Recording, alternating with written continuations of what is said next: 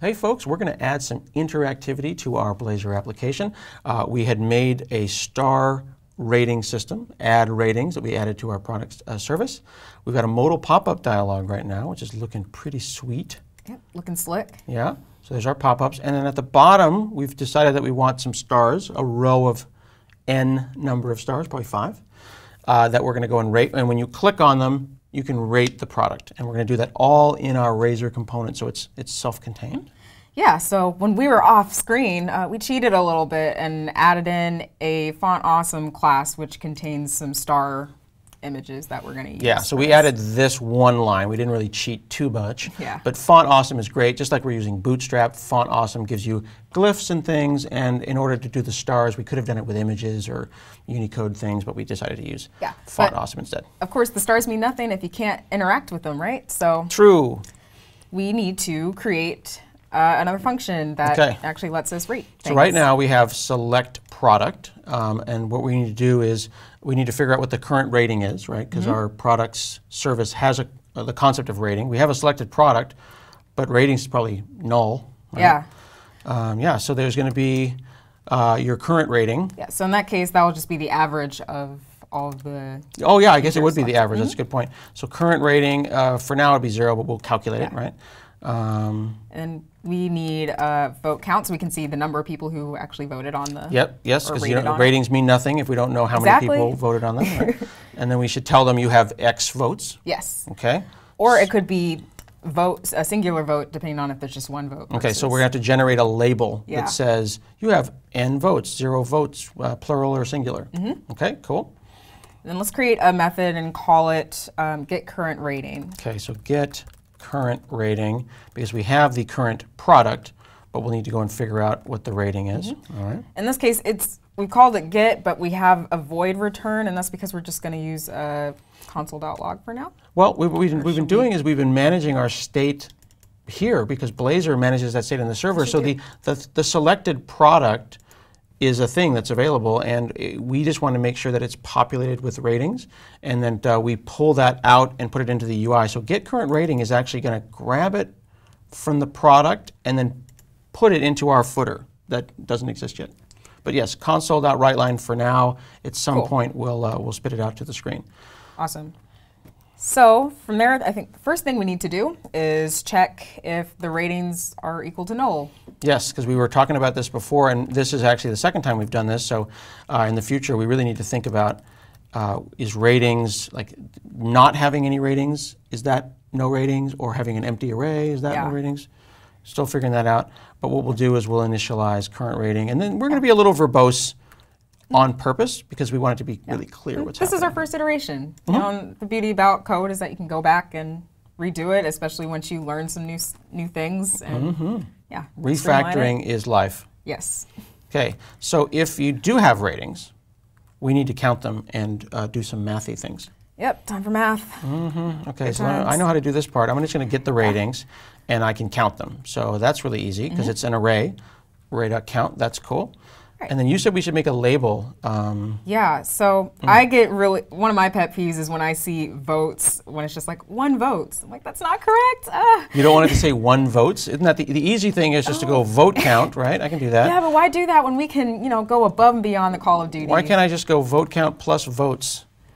You're gonna okay. We'll do it your It way. hurts my heart. We'll do it. Okay, so if vote count is greater than one, Then I want it to be equal to votes. Now we could do like if vote count is greater than one, then do this, da, da, but we'll do something we haven't seen before uh, with with our C sharp. yep. Yeah, you like this? Good old question mark. The ternary operator vote. Okay, so, So think of it as if you were reading out a conditional statement. It's like, is the vote count greater than one? Question mark. If it is, then use votes. If it's that is not, a good way. You, you actually it. say question mark. In, in my mind, I go, is vote count greater than one? Votes. Hmm, vote. But your way's better. All right. So then the current rating, and then uh, you do the math because I don't do Right. math. Yep. So we're gonna take the sum of all those ratings.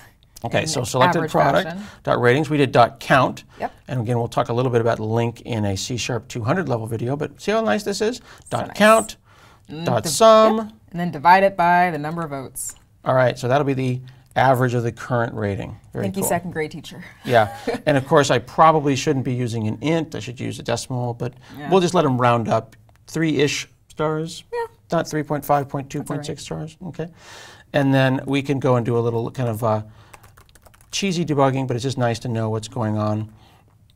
I can say console.writeline. If I wanted to debug this, I could Nice. also put this out into a div or yeah. notepad. Or if you're also just going to straight up debug this, you can add what's called a trace point, which is the equivalent of this write line, except you don't have to add anything to your actual code to do it. Oh, okay. So a trace point would let me go and do something like this, express it as an, a, an expression that you would do, you would show me at the debugging time? Yeah. Yep. So, you know, if you have a breakpoint Mm-hmm. set there, then you can see that same stuff in the output window or on any other window. That's a good reminder that the debugger inside of Visual Studio is super powerful, and most of us, myself included, do uh, the, the least. I need to t- I need to do more. Uh, there's a lot of power in there. Yeah, lots that of I, hidden that I have not done yet. Okay, so here it's telling me you don't really do anything with that, and then a submit rating. If someone actually decides to click on this, Mm-hmm. the the act of clicking a star. Yeah. So once that rating gets submitted, uh, we can add another write line in this case just to let, us, know. Mm-hmm. what's going on. And I'm actually going to copy paste. You shouldn't copy paste your. So this will be like what? Like rating received. Uh, 4 Mm-hmm. same thing. Yep. Cool. And except here, I'm not going to say current rating. I want to use the one that just got passed in. Okay. Now this is cool because we made that product service. We did. So instead of having to do all that serialization and all that jazz again, we can just ask our product service to add the rating for us and it'll And handle that's everything. why it's cool to have uh, nicely refactored code where I can reuse that. I'm finding myself using that now, and this is the third or fourth time we've used that. Mm-hmm. Now that we've selected that, uh, we've, we've done that, we're going to select the product to kind of reassert how that looks on the UI, and then select product with that new ID. Uh, we will probably want to then update the vote. So we should call get current rating again. So when Yeah. we select product, let's go back up to select product and let's say at the end get current rating and then that should update it. That seems like a good plan. Okay. So again, a little bit verbose, but if we just back up for a second and look at that, if we have no ratings, set them up, else do your vote label with votes or vote, nicely done. And then when we do the submit, we actually just call product service dot add rating. So that looks cool. Yep. Now, Scott, so we created this method, but somebody actually needs to call it. Yes. So right now we've got this card that is presenting our thing, and again, all of it's self-contained within our Razor component. The header, the body, and this footer that we've been talking about, but we never actually did anything with. Right. My bad. Let's Okay. put some uh, let's put some stars in there, shall we? Yeah, let's do it. So, what we want to do first is under the footer, we're going to do another if statement. So, first we want to check if the vote count is equal to zero. Right, because if we if vote count is a ze- uh, is zero, then we'll show something mm-hmm. different than yeah. if it's not. So, let's peer pressure them to vote because there's no votes currently. And you Okay. can get in on the ground floor of this new voting trend. All right, be the first to vote. Cool. Woo. Got that? Yep. Deal. Okay, so if it's not zero, then we'll do something else. Yeah, so let's uh, display how many votes there already are. Okay, I just said spam. I should say span instead. And in this case, uh, again, we're having it all be self-contained. We're going to say at, and look, vote counts right there. And then your vote label, I just say vote label. I don't have to have that work be here. And we could even go so far if we wanted to. Uh, again, you're uh, in control. Vote label could have done all of that, right? We could have made a method that would do that. You can refactor this to make Yeah. your Razor component as clean as you want. All right.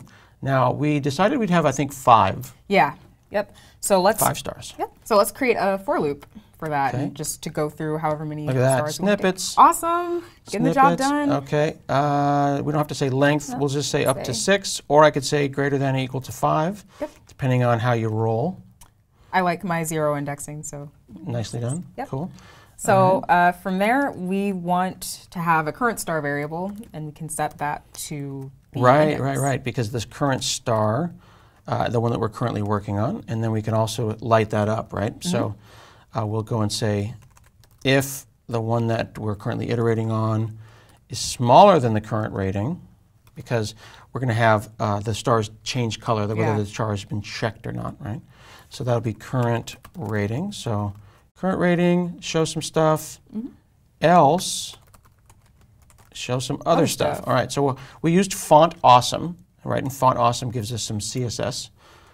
Uh, and if I recall, Font Awesome does it with classes, and Yes. like just like Bootstrap.